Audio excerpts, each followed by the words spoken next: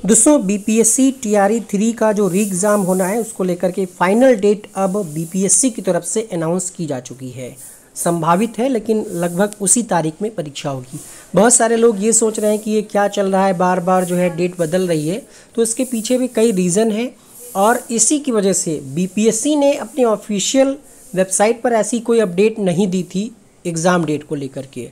ठीक है news channel वाले जो अपडेट दे रहे थे, उसके हिसाब से हम लोग आपको बता रहे थे। लेकिन अब फाइनली बीपीएससी ने वेबसाइट पे नोटिस भी जारी किया गया है। आप देख पा रहे होंगे यहाँ पर विज्ञापन संख्या 22 अध्यापक नियुक्ति प्रतियोगिता पुनर्परीक्षा टीआरई 3.0 ठीक है? कहा जा रहा है कि माननीय उच्च न्यायालय पटना के द्वारा दिनांक 29 पाँच को पारित न्यायाधीश के आलोक में अतिथि शिक्षकों को लेकर के जो फॉर्म भरने की डेट बढ़ाई गई थी उसकी वजह से भी थोड़ा सा डिले हुआ। ठीक है? अब यहाँ पर जो परीक्षा की तारीख है, वो ये कहा जा रहा है कि उक्त संदर्भ में सभी अभ्यर्थियों को सूचित किया जाता है कि जिला मुख्यालयों में दिनांक 19 से 22 19 20 21 22 प्राइमरी, जूनियर, टीजीटी, पीजीटी, ये परीक्षाएँ आपकी होनी है। तो फाइनल डेट अब यही है, अब इसमें बदलाव होने के चांस बहुत कम है, ना के बराबर हैं। तो अगर आप अदर स्टेट से हैं तो आप ये अपनी डेट जो है लॉक कर लें, कहीं और प्लान ना करें। ठीक है, उम्मीद है कि प्राइमरी की परीक्षा शायद 19 को होगी और जूनियर को जूनियर की जो परीक्षा है वो 20 को होगी, ऐसा अनुमान है।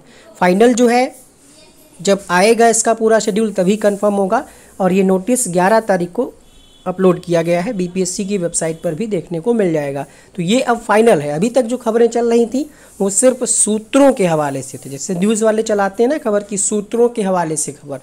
तो वो अनुमान लगा रहे थे या बीपीएससी के कार्यालय में जो हेल्पलाइन नंबर है या जो मीडिया के लिए नंबर दिया होगा, वहाँ पर बात करके वो लोग अनुमानित बता रहे थे। लेकिन अब जो है ये ऑफिशियल है तो इसी को आप बिल्कुल टारगेट करके चलिएगा और इस इस तारीख में ही आपकी परीक्षा होगी। कैलेंडर भी इन्होंने बदला है, कुछ अन्य परीक्षाओं की तारीखों को भी बदला गया है, लेकिन चौथे चरण की जो परीक्षा है, उसमें भी कोई बदलाव नहीं है। ठीक है, रिक्तियों की भी कोई जानकारी नहीं 24 अगस्त में संभावित है। ठीक है तो आप लोग तैयारी करें। इसके अलावा अगर किसी प्रकार का कोई सवाल है तो ज़रूर पूछें। जिन लोगों ने एग्ज़ाम दिया था, नहीं दिया था अपसेंट थे, सबका एडमिट कार्ड दोबारा से आएगा। सेंटर भी बदल सकते हैं। तो सेंटर में बदलाव लगभग तय है कि सेंटर इस बार ज़रूर बदलेंगे, क्योंकि काफ़ी गड़बड़ियाँ हुई थी। उसको लेकर के आयोग जो है सेंटर ज़रूर बदलेगा। मिलते हैं नेक्स्ट वीडियो में नई अपडेट के साथ।